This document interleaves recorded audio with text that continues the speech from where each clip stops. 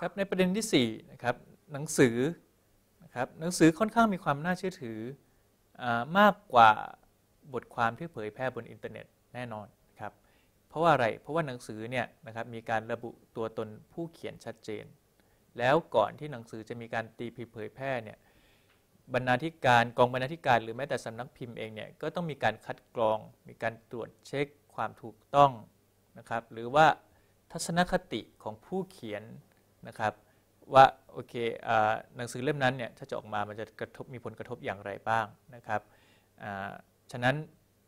บุคคลเหล่านี้นะครับย่อมมีภาระที่จะมีความรับผิดมีภาระรับผิดชอบนะครับ accountability responsibility ต่อต่อการเขียนหนังสือตัวเอง ถ้ามีเรื่องใดเรื่องหนึ่งมีเหตุการณ์ที่ไม่คาดฝันเกิดขึ้นนะครับ คนเหล่านี้ก็จะต้องรับผิดชอบต่อสิ่งที่เกิดขึ้น ฉะนั้น ในฐานะที่เป็นผู้เขียน ในฐานะที่เป็นบรรณาธิการหรือสำนักพิมพ์เนี่ยก็จำเป็นต้องที่จะต้องมีความระมัดระวังมากกว่านะครับฉะนั้นกว่าหนังสือเล่มหนึ่งจะออกมาได้เนี่ยมันผ่านกระบวนการในการตรวจประเมินในการในการวิพากษ์วิจารณ์พอสมควรนะครับ ซึ่งต่างจากบทความที่เผยแพร่ในอินเทอร์เน็ตนะครับและ ประเด็นสำคัญก็คือว่าในการเผยแพร่หนังสือใดๆเนี่ยนะครับสำนักพิมพ์ที่ดีนะครับสำนักพิมพ์ที่มีความรับผิดชอบต่อสังคม ย่อมคำนึงถึงความถูกต้องและความน่าเชื่อถือของข้อมูลของสิ่งที่ปรากฏในหนังสือเหล่านั้นเสมอนะครับ อันนี้เราพูดโดยเฉพาะอย่างยิ่งที่เราพูดถึงเนี่ยคือหนังสือที่มีลักษณะเป็นเป็น non fiction นะฮะที่เป็นการนำเสนอข้อมูลความจริงนะครับเหล่านี้นะครับสำนักพิมพ์ที่มีความรับผิดชอบต่อสังคมก็จะ พิจารณาแล้วพิจารณาอีกตรวจคำผิดเนี่ยเป็นประเด็นพื้นฐานนะครับ เพียงแต่ว่ามันสำนักพิมพ์ที่ดีต้องไปไกลกว่านั้นก็คือก็คือก็คือประเมินว่าโอเคผู้เขียนเนี่ยมีอคติหรือไม่นะครับแล้วแล้วท่านสำนักพิมพ์ต้องการที่จะปกป้องตัวสำนักพิมพ์เอง อาจจะแจ้งผู้อ่านด้วยวิธีการหรือไม่อย่างไรว่าโอเคทัศนะของผู้เขียนเนี่ยอาจจะมีอคตินะนะครับหรือว่าต้องผู้อ่านควรจะ ระมัดระวังเมื่ออ่านไปควรจะสังเกตเรื่องใดระลึกพึงระลึกเรื่องใดไว้เป็นประเด็นสำคัญในการตีพิมพ์เผยแพร่หนังสือเหล่านั้นนะครับ ประเด็นที่ 5 ของเรื่องอเทคนิคในการพิจารณาประเมินความน่าเชื่อถือของของสารสนเทศก็คืออันนี้จะเกี่ยวข้องกับตัวสำนักข่าวนะครับ ทีนี้ข่าวสารที่เผยแพร่ต่างๆเนี่ยนะครับผ่านช่องทางผ่านทีวีผ่านสิ่งพิมพ์ผ่านผ่านเว็บไซต์นะครับ เราเห็นกันได้ทั่วไป และสิ่งที่เราพบเห็นโดยเป็นประจำและเกิดขึ้นอยู่เสมอก็คือว่าสำนักข่าวเดียวกันสำนักข่าวกอนำเสนอว่าเป็นข่าวดีนะครับสำนักข่าวขอกับนำเสนอว่าเป็นข่าวในแง่ที่ไม่ดีนะครับ ก็คือในขณะที่เหตุการณ์เดียวกันเกิดขึ้น แต่มีสองสำนักข่าวที่นำเสนอข่าวที่ขัดแย้งกัน เนื้อข่าวที่ขัดแย้งกัน หรือมุมมองในการรับข่าวที่ที่ขัดแย้งกัน อันนี้ก็เป็นธรรมชาติของสำนักข่าวนะครับ เนื่องจากว่าสำนักข่าวสำนักพิมพ์ หนังสือพิมพ์หรือข่าวโทรทัศน์เนี่ยเขาเป็นหน่วยงานเอกชนนะครับ แล้วสิ่งที่หน่วยงานองค์กรเอกชนเนี่ยแสวงหาก็คือเป้าหมายของเขาก็คือคือกำไรนะครับ การที่จะทำยังไงให้ให้ได้ผลกำไรสูงสุดเนี่ยเป็นเป้าหมายหลักของหน่วยงานเหล่านี้นะครับ ฉะนั้นเขาอาจจะมีกลไกบางอย่างที่ถ้า ข่าวไหนที่มีผลกระทบต่อผู้สนับสนุนรายการ หรือเจ้าของหนังสือพิมพ์ หรือสื่อสิ่งพิมพ์สื่อโทรทัศน์เหล่านั้นสื่อเหล่านั้นนะครับสำนักข่าวเหล่านั้นอาจจะไม่อยากเผยแพร่ข่าวเหล่านั้นปิดบัง ซ่อนเร้น หรือว่าบิดเบือนเนื้อข่าเนื้อหาข่าวก็ได้นะครับฉะนั้นเราในฐานะผู้ที่รับสื่อเหล่านี้เราต้องพิจารณานะครับ ทักษะอย่างที่เราก็ต้องที่เราควรมีก็คือว่าโอเค เราต้อง ระลึกเสมอว่าองค์กรเหล่านี้เขาทำเพื่อผลกำไร แล้วก็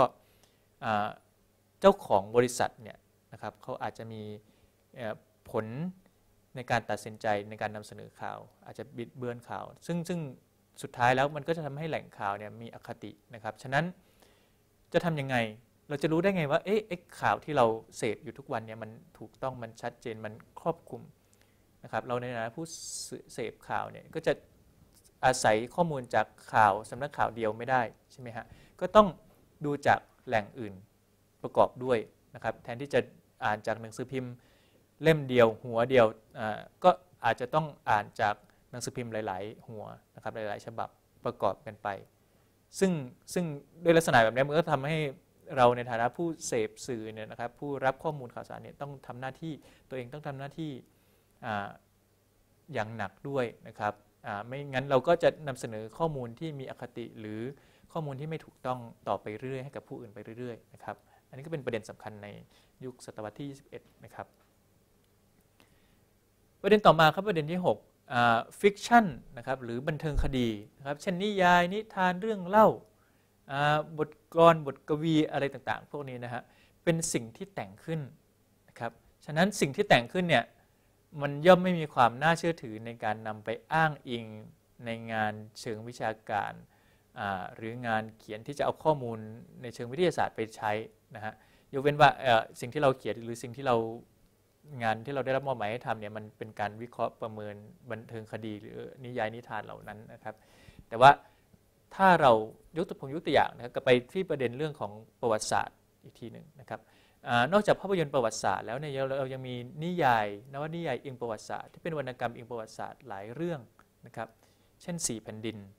เช่นคู่กรรม4แผ่นดินอิงเหตุการณ์ประวัติศาสตร์ที่เกิดขึ้นตั้งแต่สมัยรัชกาลที่ 5 จนถึงรัชกาลที่ 8 ใช่ไหมครับในช่วง4แผ่นดินเนี้ยแล้วก็คู่กรรมก็เกิดขึ้นในสมัยสงครามโลกครั้งที่ 2 ที่เกิดขึ้นในประเทศไทยสองเรื่องนี้มีองค์ประกอบของที่เป็นประวัติศาสตร์ มีข้อมูลประวัติศาสตร์อยู่ แต่อย่างไรก็ตามนะครับข้อมูลเนี้ยสมมติเราจะเขียนว่าเรื่องวิถีชาววังในอดีตเนี่ยเราจะเอาข้อมูลจากสี่แผ่นดินมาอ้างอิงเลยได้หรือไม่ อันนี้ผมก็ไม่แนะนำเพราะว่าข้อมูลในสี่แผ่นดินนะครับ มันเป็นบันเทิงคดีเป็นนวนิยายซึ่งเขียนขึ้นมานะครับไม่ใช่บันทึกเหตุการณ์จริงที่เกิดขึ้นจริง แล้วก็เนื่องจากเป็นบันเทิงคดีเนี่ย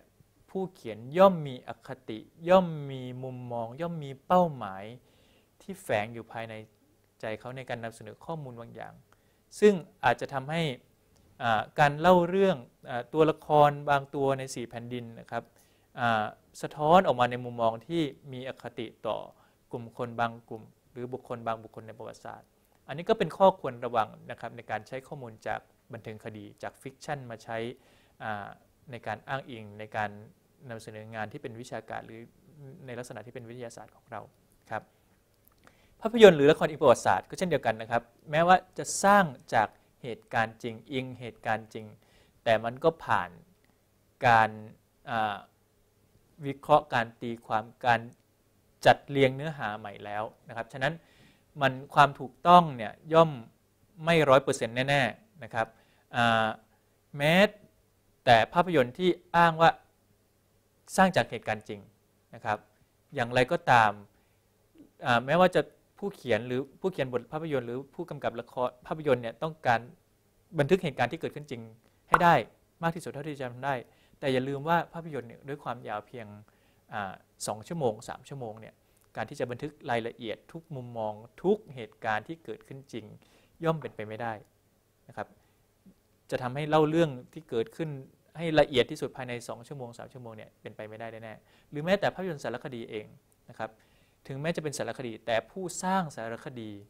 ย่อมมีมุมมองของเขาอยู่แล้ว ย่อมมีวัตถุประสงค์ในการเผยแพร่สารคดีเรื่องนั้นๆ อยู่แล้วนะครับเช่นสารคดีประวัติศาสตร์เนี่ยมันมีมุมมองอยู่แล้วในการในในในการที่จะเผยแพร่ข้อมูลของเขานะครับ ซึ่งมันก็ทำให้ความน่าเชื่อถือของข้อมูลที่ปรากฏในสารคดี ในภาพยนตร์ในหนังสือเหล่านี้นะครับ ซึ่งเราเราพิจารณาว่ามันเป็นบันเทิงคดีเนี่ยขาดความน่าเชื่อถือที่จะไปอ้างเองได้นะครับ มันอาจจะเป็นจุดเริ่มต้นของการแสวงหาองค์ความรู้ของเราได้ แต่มันไม่ใช่จุดสุดท้ายของการใช้อ้างอิงครับโอเคครับ